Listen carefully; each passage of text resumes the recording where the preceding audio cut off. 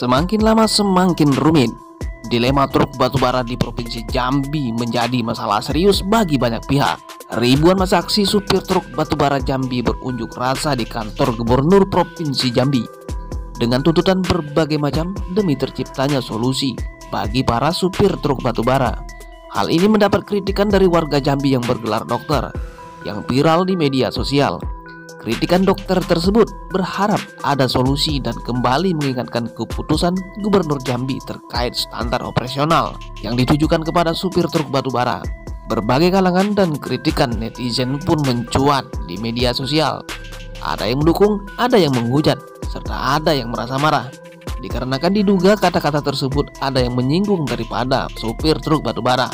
Sahabat Trap TV, semoga permasalahan batubara di Provinsi Jambi bisa teratasi dengan merangkul semua pihak agar tidak ada yang saling merugikan.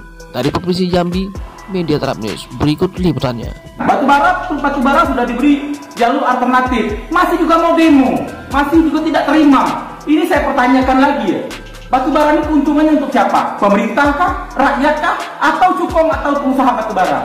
Jangan masyarakat dirugikan. Ini Indonesia. Kita di bawah undang-undang. Memang tidak ada undang-undang transportasi itu lewatnya malam. Emang sopir batubara sapam enggak kan?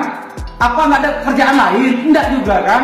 Banyak efekasi daripada truk batubara ini. Contoh banyak terjadi katanya reklamasi. Sampai hari ini mana? Hasil olahan tambang batubara yang direklamasi itu mana? Dan siapa yang punya tambang batubara itu?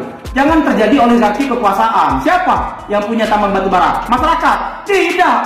Justru bos-bos tukang batubara yang punya batubara yang merusaknya siapa? Jalan negara itu dirusak sama siapa?